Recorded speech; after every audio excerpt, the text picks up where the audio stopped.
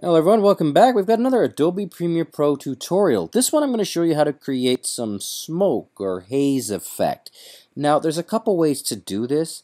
Uh, a lot of people, if you have access to stock footage, you can actually buy stock footage of like smoke or haze or whatever you're looking for and then simply place that in the upper layer here and blend it to your taste. That is probably the easiest way to do it, but you know what? We don't all have access to that, so um, if you need to create it synthetically, we can create it ourselves. So click on this layer here. I've just got some stock footage here, and right click it. We're going to start working in After Effects for this one here. So replace with After Effects comp uh, composition, and it's going to open up in trusty After Effects. There we go. Hello, hello, hello.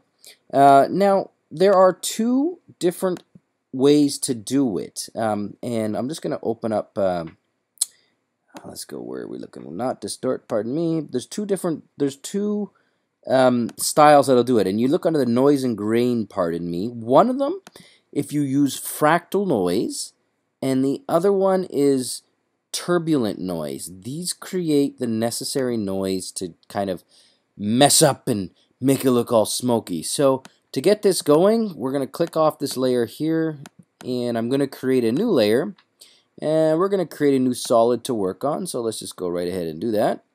And it can be a black solid, doesn't really matter, because uh, we're going to drop this effect on it. So let's work with turbulent noise. It's a little bit easier. So I'm going to drop that on here, and what do we have? We've got a yeah, kind of weird looking, smoky looking thing going on here. Not what we're looking for right away, but let's go down to the mode here and let's go from normal.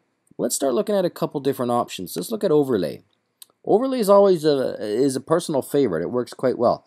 Um, you're already going to see that there looks to be some smoke in the background now. It kind of just came out of nowhere.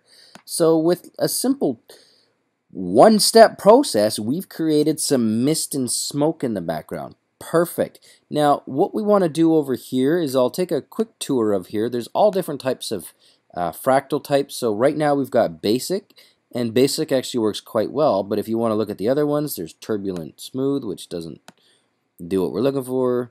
Turbulent sharp, which is over the top. But, you know, as you can see here, dynamic actually, that's got a nice look to it. If we do a little bit of adjusting to it, we could get some smoke going on there. But whatever, you can go ahead and adjust that as you see fit. Let's take a look at smeary, actually. What's that look like? Oh, geez. That ain't right. And swirly? Nope. Okay, so let's go back to basic. Also, there's four different types of noise types. There's block, which is not what we want. There's linear. That's not bad. The one we had before was soft linear, also not bad, and spleen or spline is also quite nice as well. Um, but anyways, we're getting sidetracked. Let's go back to soft linear. Let's create some smoke. The next step you need to know is we're going to do evolution. Evolution is, if you see me twirl it here, gives it that motion. You'll see as I twirl the little dials there, it goes and it, and it gets the smoke moving. So we don't want static smoke or static mist because that's kind of pointless. So let's go ahead and we're going to animate the evolution. So click the evolution button here.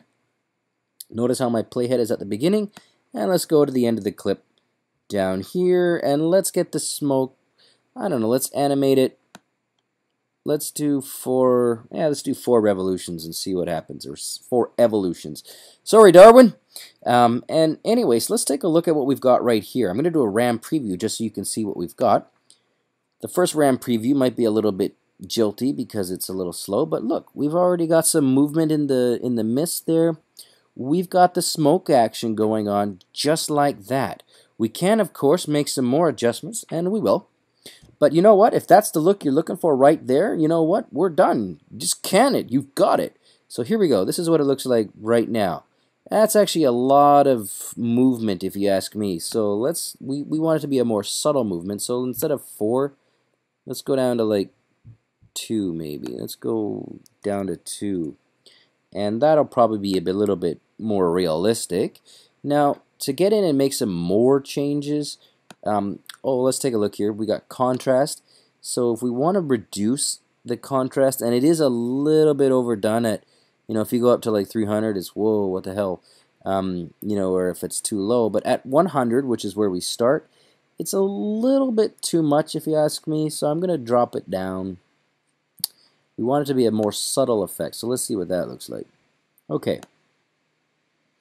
That is a bit more subtle. I like it. Now let's get in a little bit deeper here. Uh, complexity, uh, if you want it to be, this is something you can adjust as well. Uh, the more complex, let's take a look at, at a highly complex look. A 7 versus a totally non-complex look, and this is a really slow slider, holy smokes. Uh, it's more blurry, smeary, so let's see what that looks like. Hmm. I don't know also works, but you know, let's go back to where we were because you can adjust this. This is also a little bit processor intensive, so keep that in mind that this is not always happening in real time.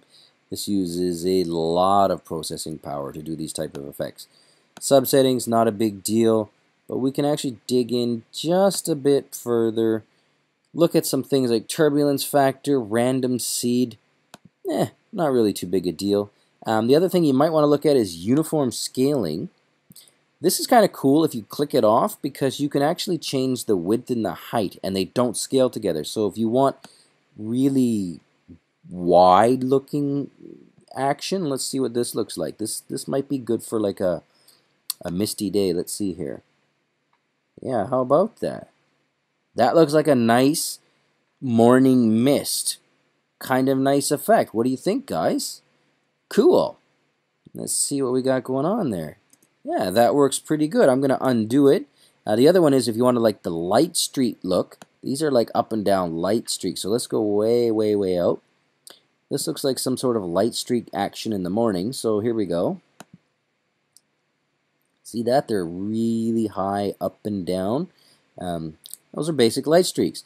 Uh, not really the effect we're looking for in this case, but something to know. I'm going to undo it to 100%. But realistically, guys, that's a bit long-winded explanation of how to create smoke or mist or haze or whatever you want to call it. Inside Adobe Premiere Pro, you click on the After Effects, you open up After Effects, and bang, now we've got a misty morning. Guys, I hope you enjoyed this tutorial. I'll be back more with some more. Cheers. Bye-bye.